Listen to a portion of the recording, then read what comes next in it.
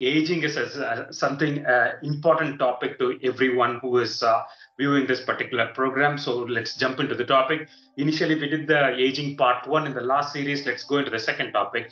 Before jumping into the program, can I request all our viewers who are viewing this particular program to kindly subscribe to our channel? So, uh, uh Dr. Gopi, today we will look into the part two of the aging process. The topic of discussion is essentially neurotoxins and fillers. That's what we are going to discuss about today. Yes. Now, can you give a brief overview as to how and what exactly are these neurotoxins and neurofillers and how do they work, please? Yeah. See, before answering this question, I just want to recap uh, some of the uh, main points I discussed in the last episode. That Sure. aging is an ongoing, inevitable process, Sure. and uh, there are there are a variety of uh, modalities to address this anti-aging, uh, of which Botox and fillers are the prime important uh, uh, treatment modality. Okay, so aging, as you know, there are uh, the, the there can be different reasons for which uh, this uh, I mean aging occurs. Okay, Yeah. number one is, as I uh, mentioned earlier, the loss of collagen, one percent of collagen, as we advance in our age after 20 years of age. So Sure. we'll be losing collagen, we'll be losing elastin and hyaluronic acid. Sure. So this is the prime important reason for the appearance of wrinkles. Yeah. And the second reason could be repeated contraction of our muscles Hmm. during our day-to-day life, knowingly or unknowingly, maybe due to the profession or even otherwise. And third reason could be uh, the gravitational force which acts on our face. Okay. That's why we see a lot of uh, sagging on the eyelids, the cheeks, the jowls, and so on. Okay. Yeah. And as you know, as the orthopedician, you'll be well aware that as we age, will be lo- there'll be loss of substance of the cartilage as Sure. well as the bone. Yeah. And the fat is also distributed not uniformly as in young age, because in young, the fat distribution is uniform throughout, whereas Yeah. as we age, the fat is distributed in pockets. Yeah. So these are the reasons why we develop wrinkles as well as sagging. Sure. Yeah. So this wrinkles, also known as rhytides, Yeah. uh, are the are the prime markers of aging, Sure. as far as uh, cosmetology is concerned. All right. Yeah. Okay. So and as as well as these reasons can also precipitate sunken cheeks or, uh, sagging jowls and so on. Yeah. And this anti-aging measures are going to set the clock behind, say, five to ten years. Mm. Okay. And uh, these Botox and fillers are the milestones of cosmetology, I can say. Okay. These Botox are very simply, uh, in, in simple terms, I can say they are just exotoxins which uh, block the nerve terminals or the uh, nerve receptors. Okay. Okay. And there are certain chemicals which are responsible for muscle contraction, Hmm. which is not happening there. So the Yeah. muscles become relaxed. Okay. So this is the uh, primary action of a Botox. Okay. Say for a filler, on the contrary, uh, we know hyaluronic acid is the uh, is the prime uh, agent of a filler. Okay. Yeah. For years, for years, even now. Okay. This hyaluronic acid is a substance which is already present in our skin, which we are losing as we age. So Yeah. we need to supplement this hyaluronic acid, and this Mm. hyaluronic acid is capable of holding thousand times the uh, I mean weight of the water molecules in itself. Right. Okay. Say one gram of uh, uh, say one gram of uh, hyaluronic acid can hold up to six liters of water. Wow. Okay. So, so hyaluronic acid is a, a primary agent which is used in fillers to Yeah. supplement the lost hyaluronic acid as well as correct the defects of our skin and the soft tissue. Sure. Okay. All right. Okay. Um, uh, after viewing the last program, uh, Professor Ravindran, our classmate, Yes. he commented stating that aging is a physiological process. Why do you want reverse aging? That's what he posed a question to us. I think you answered um, uh, in your last program while we were uh, finishing the program. Uh, you mentioned that yes, of course, aging is a physiological process and it's a natural process. Let's age, but rather let's age rather. What is the golden word that you use? To age gracefully. To age gracefully. That was a, uh, that gave me a hint and a clue to respond back to him, stating that yes, of course, but rather let's uh, age gracefully. That's what. All the methodologies of either you are talking about the uh, homemade methodologies that you were giving suggestions during the last episode, and uh, the remedies that you are uh, that we are going to discuss today are all going to point towards that particular direction. Now, okay, Uh, let me let me let me highlight. Yeah. See, how many times do we look at the mirror ourselves? Ah, that is a point. Okay, if you want to age Okay. gracefully, then why do you want to look at your mirror? Yeah. So the in the back of our mind, we do not want to age. Right. Okay. Okay. Okay. Even combing your hair and putting a powder on the face, what people do is to mask and to augment your appearance in front. Of course, that will have a positive impact on your work, the workplace, society, and everything. Absolutely. Yeah. Uh, That's uh, once again a nice point, actually. Okay, for uh, people who are talking anti-aging and stuff, he was not talking anti-aging. Rather, he was asking what go against the physiology. That's what he was uh, mentioning about. Anyhow, uh, okay. Now, how do you determine where, who is the ideal candidate for either this um, uh, neurotoxin that you give or the fillers that you may advocate for, mm, as maybe? See, uh, the ideal candidate would be someone who is having an indication for a Botox or a filler. See, Okay. the, the protocol is it, they, he or she should be more than 18 years of age, Okay. Yeah. good health, okay, of good physical health, without Okay. any underlying disease, major diseases, say, no Right. pregnancy, not a nursing mother, Yeah. okay and preferably non-smokers and they have to be psychologically stable not having a body dysmorphic disorder or uh, say obsessive compulsive disorder Right. Okay. Yeah, I understand that. Now, you mentioned specifically about smoking. Uh, people who smoke, um, unfortunately, are one of the categories who develop a lot of wrinkles and stuff like that. If you are going to eliminate uh, uh, people who are smokers from this particular category, then uh, wh- how do you validate yourself in the sense that uh, is it because you're uh, uh, not advocating to them because the results are going to be poor or what is the reason behind it or the, the uh, they are- not treating the etiology of the wrinkles here? Of course that's a good question because say the there are two reasons for this. One is smoking itself as i uh, mentioned in the last episode smoking is going to reduce the microcirculation in your body. Sure. And this is going to precipitate the wrinkles further. Yeah. Number one. And number Yeah. two if at all they are chronic smokers we advise them to stop or hold smoking or avoid smoking for a few days at least before these procedures. Ah, so that right they will have the anticipated outcome. Right. Okay. And there will not be any bruising or bleeding. Right. Okay. So it is not an absolute contraindication. It, it should be a relative contraindication.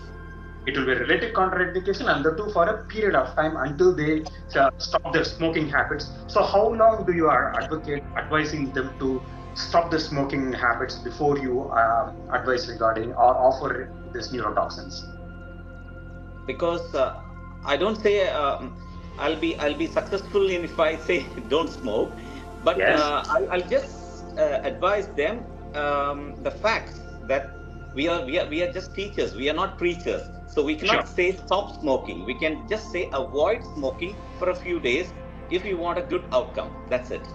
that's it And it's Okay. up, up to them to decide. Right. Okay. Yeah, I understand where you're coming from. Okay. Now, if you are going to select a candidate uh, for offering this particular procedure, either be it fillers or be it uh, the bot- uh, the Botox tox- uh, Botox, uh, what are all the assessments uh, that you would like to do on these kind of patients? You told what are the filtering criteria, but what are the assessments or the pre-procedural steps that you would want to do? See, for any patient, I make a detailed assessment.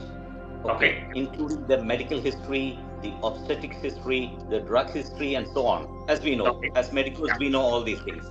Yeah. But uh, mainly, mainly the thing is, see, you have to. Uh, I have. I have to tell them the quality of the fillers which I have, the variety of the Botox or the types of Botox which we uh, advise them, or the types of fillers, and uh, how long they uh, the, the the longevity of the product, the anticipated outcome, as I already said, the cost of the filler, the side effects of these uh, Botox and fillers, as well as the downtime too.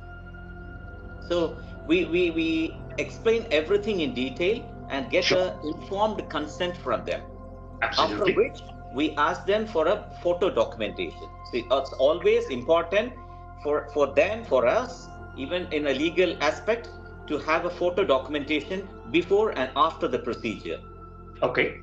after which this these procedures are simple safe and effective and it can be done with topical anesthesia so we apply anesthesia for a f- period of uh, say 20 to 30 minutes after which we undertake the procedures All right. Okay.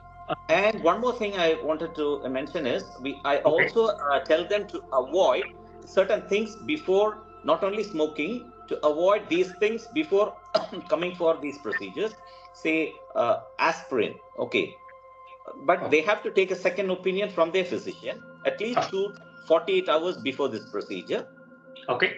and uh, also uh, multivitamins, analgesics, avoid green tea, vitamin E, fish oil, because all these are going to increase the fragility of the blood vessels, leading to more of uh, bruising.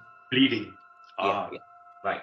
Okay. This is a cosmetic procedure. So if you are going to offer this injection and if bleeding is going to happen, initial disfigurement might be there, which might be counterproductive. Okay. I understand where you're coming from. Okay. Now, uh, if, for example, if I am concerned about my wrinkle, Yeah. Okay. Yeah. Uh, how do you uh, choose? Like, what are the indications that whether I am the suitable candidate for this kind of procedure or a filler kind of procedure? Uh, so, what are the indications uh, wherein uh, you would try and consider these kind of uh, procedures? Yeah. See, first of all, I would appreciate your motivation to de- do this procedures for anti-aging. Okay. Okay. Because I can understand that you're in the pursuit of uh, uh, making your skin or yourself more youthful. Okay. Okay. Which is going to, of course, give a positive impact among the patients which you are encountering or in your uh, societal or communal, uh, I mean, uh, participation. Sure. Okay, that's one thing. And second thing is, I take into account all your medical history and everything. And if you are a suitable candidate, definitely then I'll assess you for which are the muscles which are affected. Okay, Oh. it depends depends on because because the treatment is individualized. We do not do A to Z for everyone. It's individualized. Some hmm. people, so we, we can go into details of those things, but some people just come for Botox. Some people just come for fillers of limited areas. Some Okay. people come for a complete facial and neck rejuvenation. Right. Okay. Okay.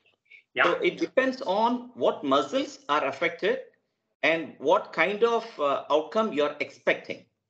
Right. Okay. Okay. Uh, It's it's not from a, a suggestion from me. I can give also a suggestion, but Okay. I I hear to what the patient needs. Sure. Okay. Yeah, that is important. Obviously, Yeah. we need to need, need to know what exactly what they need so that we can satisfy them. Yeah. Okay. So, can you elaborate on the different indications Yes. uh, of this uh, Botox injections or the fillers, uh, Yeah. uh, and uh, how to expect the desired outcome. outcome. Say indications uh, are, um, I just, I, I'll show you, okay. Yeah. Because there are cosmetic and, uh, I mean, aesthetic and non-aesthetic indications for Botox as well as fillers. So first we'll take up Botox. Yeah. See, The cosmetic indications are, as I said, to relieve or to relax the wrinkles.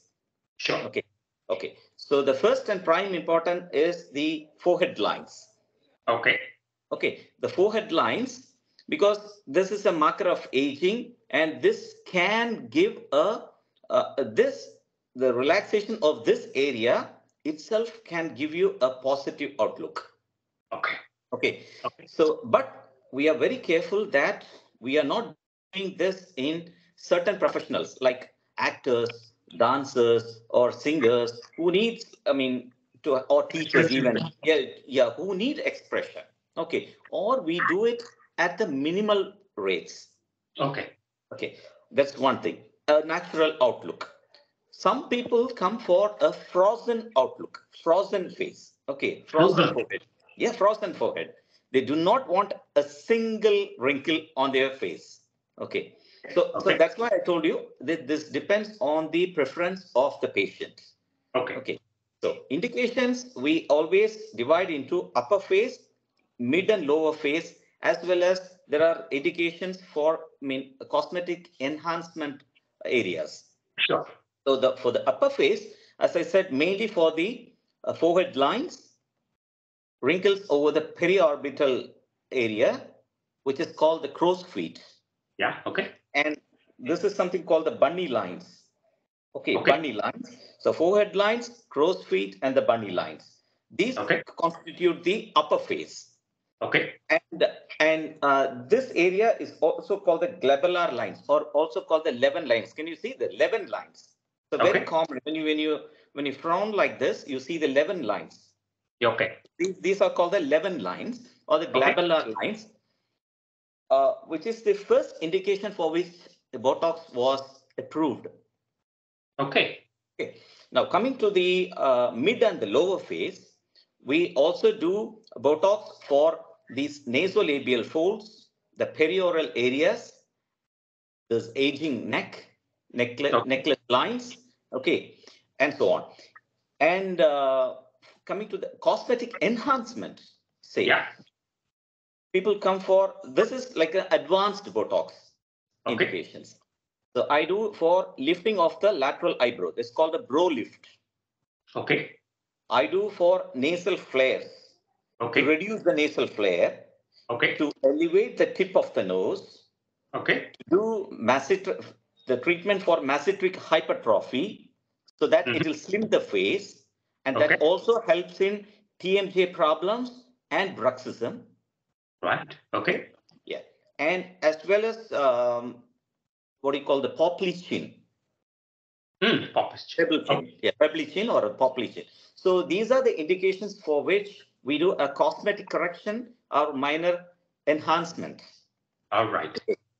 These are these are the cosmetic indications of Botox. There Okay. are non-cosmetic indications like hyperhidrosis. There is increased sweating over the body. Say, Mm. uh, commonly I encounter patients for bromhidrosis, something called bromhidrosis, which is smelly underarms. Okay. Ah, for which Botox is a, an, an excellent treatment for uh, this bromhidrosis and increased sweating or increased perspiration in the underarms. I also Okay. do Botox for uh, palms, the soles, okay, sweating for the palms and soles, which is called palmoplantar hyperhidrosis. Okay. Okay, so these are the areas for which we, uh, this is a non-cosmetic indication for Botox. All right. Now, coming to the fillers, the same thing applies. When the lines are deeper, which cannot be corrected by Botox, we have to Oh. do a filler. Okay. And in the lower face, we also do fillers for the tear trough, the, the, the, the, the depression which is seen just Yeah. below your uh, the periorbital area. Yeah. The nasolabial fold, Yeah. which can be done with a cannula. And uh, we do for uh, lip augmentation. Very Yeah. common procedures is lip Yeah. augmentation, you know. There are varieties of shapes which can we can change or make. Okay. Yeah. Even nowadays, people come for Russian lifts. Okay. We can make a heart shape, we can make a strawberry shape. Really? so on, so on, so on. Yeah, yeah. We'll discuss in detail when we go into that. So uh, the lip augmentation, uh, you can do a chin elongation, okay, chin elongation or prolongation. We can do a jaw filler, which is uh, commonly in Arab countries we call it as Texas lift. Texas lift. Okay. Okay. So the mandibular lift or the Texas lift or the jaw lift. Okay. And uh, cheek augmentation or the cheek lift. Okay. So these are the common uh, indications for fillers on the face. Okay. We- uh, sorry, I forgot to tell you about this uh, Botox. We- It's, it can also be done uh, to relieve or relax the platysma band. So ask the patients to say E, and if they see the platysma band, which usually occurs at 40 or 50, we can Okay. address this with Botox, which is called a Nefertiti lift. Ah. Nefertiti. It's named after the Egyptian queen Nefertiti, who had a long neck. Okay. Okay, there are uh, certain indications for which uh, fillers are done, uh, even extrafacially. Say Okay. for the breast augmentation, I have done for buttock augmentation or the gluteal augmentation. I have done for uh, hands, neck, and the decollete areas as well. Right. Okay. Quite a lot of indications. Okay. In simple uh, terms, uh, uh, just deviating from the topic, Yeah. how much sir. of these um, uh, uh, the the lines that are that you are mentioning or the sagginess that we've been talking about, etc. How much age depreciation does it show? In the sense that if I'm going to be, if I- I'm I'm 50, we are all 50 odd at this point of time. Yeah. Now, if all these uh, uh, lines and stuff like that, Mhm. how much uh, do these does these lines augment our age and uh, show it to the public in the sense that how much do we uh, uh, uh, Yeah, I forecast? can understand. See, we are, we are we are trying to set the age clock behind yeah. for a for a period of five to ten years, as I said, five to Ah. ten years at least. Okay, Okay. but okay. it depends on varied fact various factors. Like Sure. the patient patient should be like uh, they they should have a positive outlook on the same. Okay. Absolutely. Yeah. Number two is uh, they should not overdo things. Hmm. Okay. And number Okay. three is uh, depending on the muscle activity, uh, this this Botox and uh, fillers they are degrade they, they are degrading day by day and you will you will the, the, the result usually lasts for only three months for Botox and six months for fillers. So they Ah. have to redo it again and again. Okay. Okay, that's one thing. And the fourth thing would be uh, if they take into account the other factors as well as, as I said, the smoking, uh, I mean, hydrating themselves, okay, and uh, taking care of uh, the skin, like uh, photo, I mean, protecting the skin from sunlight and Yeah. so on. Yeah. Okay. All right. Okay. Now, um, let's uh, for the viewers who are watching this program, they Yes. would like to know as to what exactly you do uh, when they come to you and after your consultation, you have selected the patient, you have known the indication. They are Yeah. going to ask you, okay, this is what I want. This is what I want. So after you have decided on that particular uh, uh, uh, process that you are going to instill on our patient, so Yeah. what do you do? What are the various different injection techniques that you are going to follow for both this uh, uh, Botox and also for the fillers? Yeah. So before that, I would say there are there are anatomical differences between a male and a female. Okay. So people just think. So I, I also accept that females are more attractive than men. Definitely, no doubt at all. This Absolutely. has been documented by Aristotle. Yeah. And the motivation is also more among women than men. Hmm. But there are anatomical differences which we cosmetologists take into account. Sure. Number one is, as you know, say, I'm talking about the forehead. Yeah. The forehead is broad in men, whereas Yeah. it is narrow in women. Sure. We have a, a high, I mean, uh, the hairline is high, Hmm. Hmm. okay, or recessive. We call it Yeah. a recessive hairline, whereas it is a low set hairline in females. Okay. Taking into account the eyebrows, we have Hmm. a straight eyebrows, whereas they have a rounded or arched eyebrows. Sure. See, these are all the these are features given by God. Okay. Okay, so Okay. this, this is a real miracle from God. Okay, Okay. and say the nose, we have a broad nose with broad base, whereas they have pinched nose with even the tip is elevated in a female. Ah. Yeah, we have sunken cheeks, whereas in females they have rounded, elevated cheeks. Mm-hmm. We have narrow lips, whereas the females will have a fuller lips. Okay. Full lips. Yeah. And we have a square chin, whereas they have a rounded chin. Hmm. Even the jaw, which is uh, uh, the gonial angle, the, the, there is an angle, the mandibular angle. So this is even that is uh, different in a male and a female. So Sure. we take into account all these things before starting a treatment. Okay. Okay. Number one. Number two is uh, th- there are set protocols for Botox and fillers. Okay. uh, we we take into account the muscle hyperactivity. So for, Okay. for some people, the glabellar activity will be more. For some Okay. people, the forehead lines activity, the frontalis, we say, this activity will be more. Okay. Okay. So it depends on the which muscle is more active and Hmm. needs to be relaxed.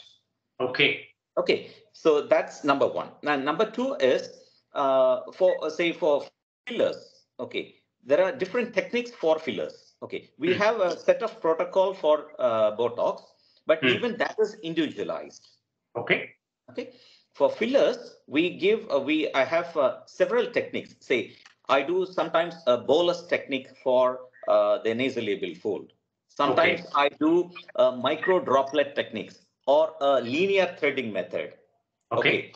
Or sometimes I do a fanning or a cross hatching method. So there are several techniques uh, advocated for this. And it, Okay. these are all not my techniques. These are all in the literature which we Sure. practice. Okay. So the only thing is the patient has to select a certified uh, cosmetologist who is Okay. who has a real expertise in this field, who's really Sure. experienced to address all this concern. Okay. All right. Yeah. The patient will not know as to uh, uh, these kind of techniques, which are a little bit scientific uh, uh, for them. Uh, so all they will be telling is, make me look good. Do the patients uh, come to you and uh, what do they what do they come and tell you? What do they come and ask you in your clinic? It would be funny to hear all those things because Yeah. uh, uh, they come up with a 60 year lady who will come up with a with an image of a 20 year girl and say, I want to make, I want you to make me like this, Ah, which that's is fine. really That's an impossible. That- Yeah, That's an unrealistic expectation. sure. So that, yes, so that we, we always tell them what is the realistic thing which we can do, how much you can expect out of this. Okay, so uh, we don't discourage them, but at the same time, we tell them the facts that only this much you can expect. Okay. And we also tell them that this needs to be continued, not a one time procedure. So you have to main- maintain this throughout. Yeah. Yeah, Okay. sure. and Yeah. you have to hydrate you have to use the sunscreen throughout you have to have a excellent diet which i which i uh, prescribe them okay I, I also tell them about the cosmeceuticals which we'll discuss in another uh, episode okay i also advise them about these cosmeceuticals the lasers sometimes a combination of treatment which are required not just Sure. one Okay. All right. Okay. Um, so do people come for like um, uh, they are going to attend a ceremony, a marriage ceremony or something or that? Do they come to like for a one uh, one shot of these kind of procedures, or these are the patients who come for a regular kind of uh, uh, treatment for with you? uh, there are several set of uh, patients. Some patients uh, they just come up. You'll be you'll be astonished to hear that. The previous day of marriage, I got a patient telling that I need Botox today. So it Sure. means that they are not aware of the the the I mean the action of the Botox because Sure. Botox, the botulinum toxin usually takes three to four days to kick in, and it takes ten to fourteen days to give the full results. sure. Say for fillers, at least it will show a, a, a, a not a, not a significant amount, but at least to a little extent, it can show results after the procedure immediately. Okay, But on the long run, like say one week or two weeks, they'll get the results. So it's not ideal for a patient to come uh, just prior to an event and ask Hmm. for these kind of procedures. sure. As we are planning for an occasion or an event, we Hmm. have to plan for these procedures too. As well. All right. Yeah. Okay. Now, uh, uh, simple question. If um, fillers are going to give the effect for six months' time, whereas if uh, uh, uh, Bo- Bo- Botox injection is going to give an effect only for three months' time, and considering Botox being a neurotoxin, whereas the filler being a neutral substance like hyaluronic acid, why should one go for uh, uh, neurotoxin in contrast to a filler which is uh, more lasting and least uh, complicated one? Is that a, sens- a sensible question or? Uh, see, yeah, yeah, I can understand, but uh, from a uh, from a if this question is from a layman uh, term, I mean view, I would say that these are going to address different concerns because, Sure. as I said earlier, Botox is just going to relax your muscles, that too at specific points. Okay. Okay, we cannot do Botox throughout, Okay. and we cannot do fillers where Botox ought to be, I mean, are to be done.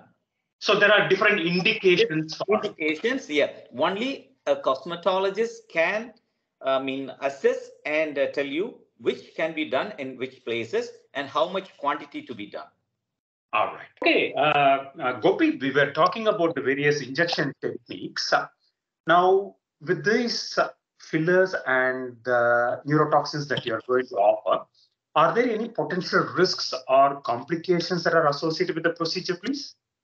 yeah of course there are risks and complications there Mm. are minor complications major dreaded drastic and uh, disastrous complications as well so Really? i would always advise the patient to go uh, for an expert opinion okay only in Okay. the hands of an expert this would be a safe and effective procedure Absolutely. So for Botox, the commonest uh, side effect which we see is asymmetry.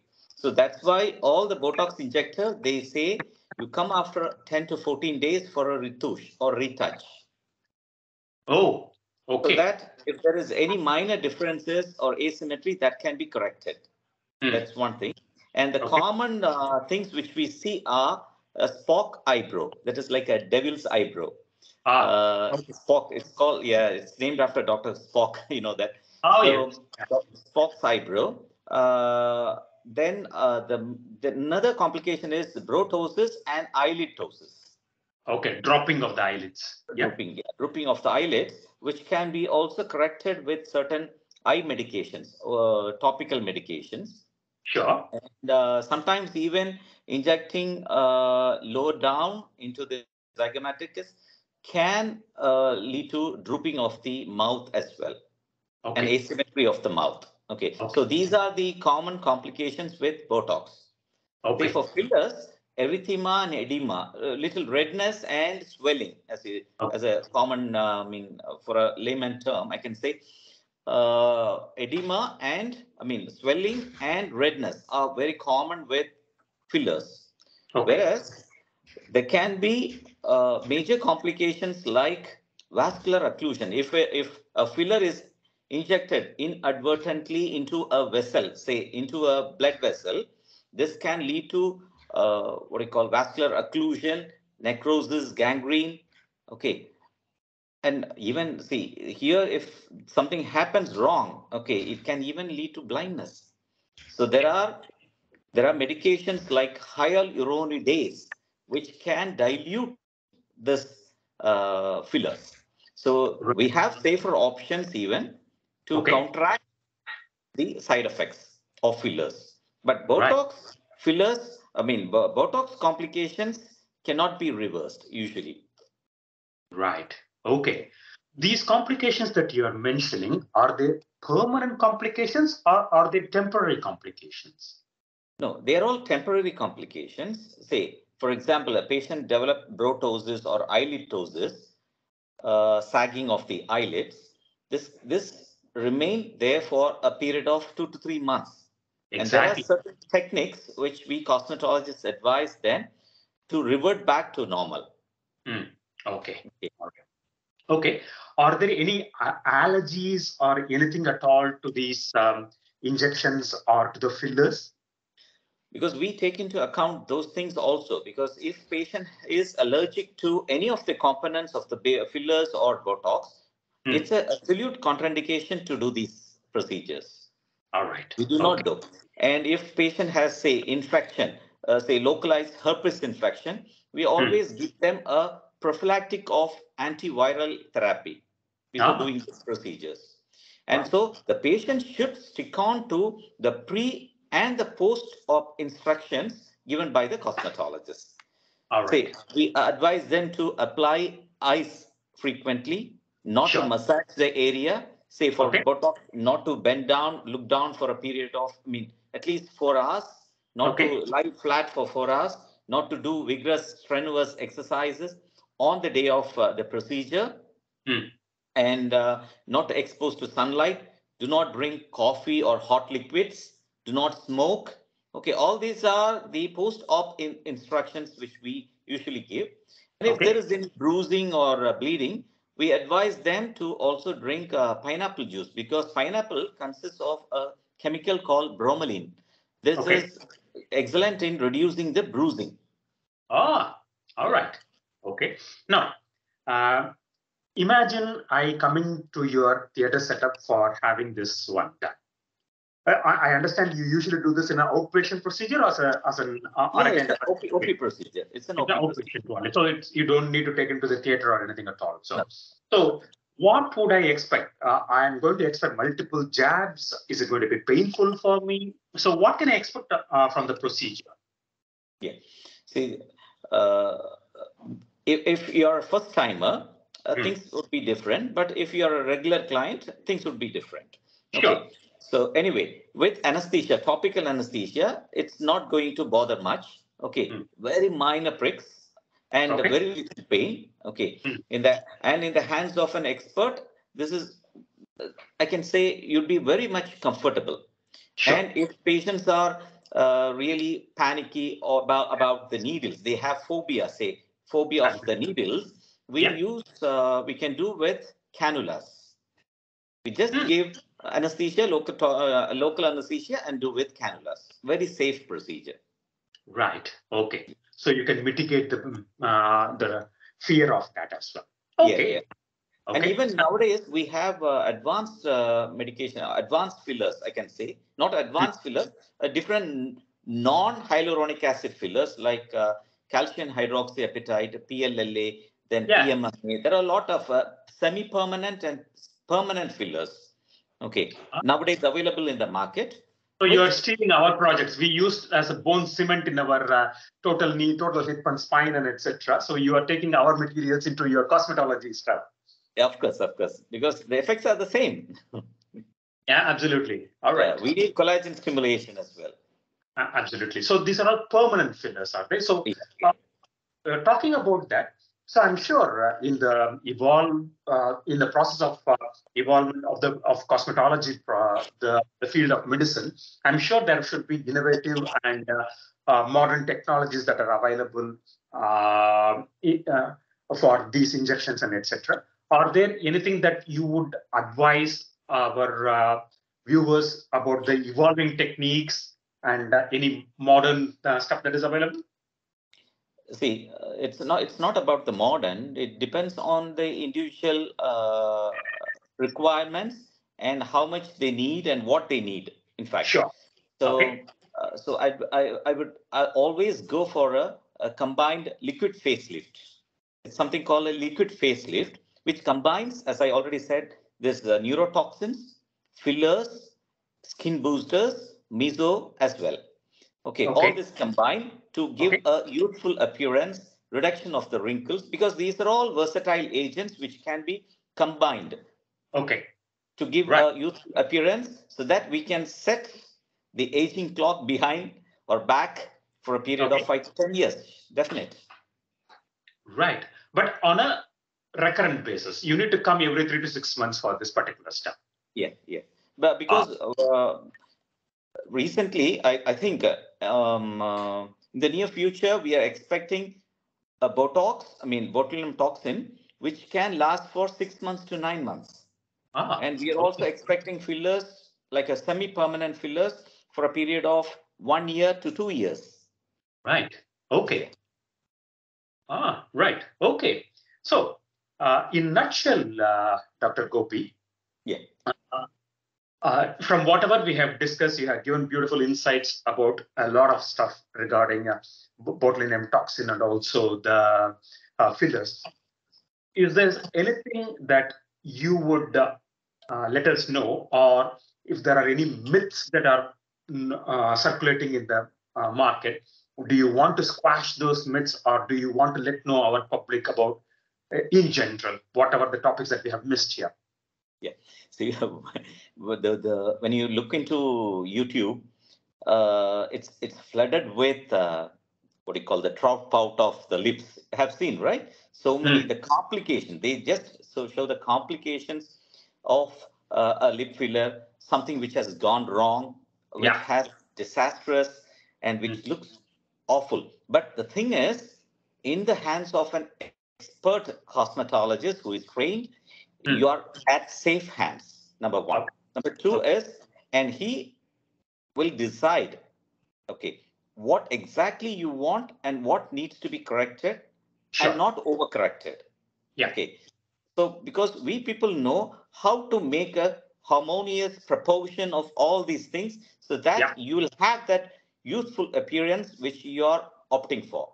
absolutely yeah that's fine yeah okay uh, are there any myths surrounding this cosmetology procedures at all in the uh, that you want to squash it let the people Uh, know that there is nothing If you can ask me, I can I can counter it. Uh, I haven't came across, but uh, possibly. Okay. So if there is nothing there, then that's excellent, actually. Uh, Dr. Gopi Krishna, that is See, One, really one thing is sure that people Yeah. think that cosmetology is costly. No, it's cost Okay. effective. Okay. Okay. Mm. People think that cosmetology is only for the rich. No, it's even for the middle class and the lower class socioeconomic strata. And uh, number three is people also think this is not at all safe and this is not good for anti-aging. I, I would definitely not watch for it because we see results directly on the table as well as uh, uh, during the progress of uh, these agents. So, Right. so I would say that this taking these versatile agents like uh, botulinum toxin, neurotoxins, and the fillers are definitely going to have a positive impact on you and on the society. all right. Okay. Uh, Dr. Gopi, that was very nice of you to have offered your insights regarding this particular subject. Uh, we very much look forward to seeing you in many, many more topics in the very near future. So uh, thanks for participating with us, and I look forward to see you in the next uh, topic. Okay. Thank you so much. Good luck Thank you. and God bless. Thank you. Cheers. Bye bye.